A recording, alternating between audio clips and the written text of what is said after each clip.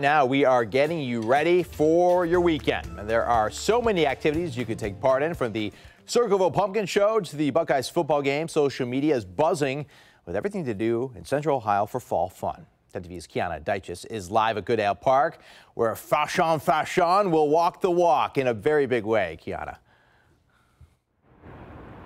That's right, Clay. We're out here on Park and Goodale in the short north.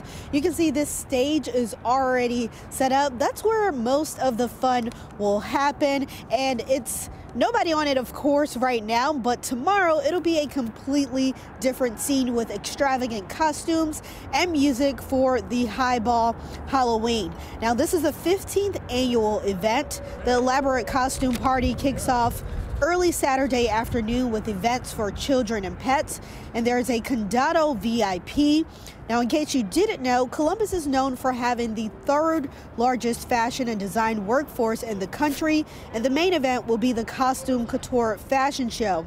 Organizers say this year is a comeback celebration after COVID forced some major changes in the past two years.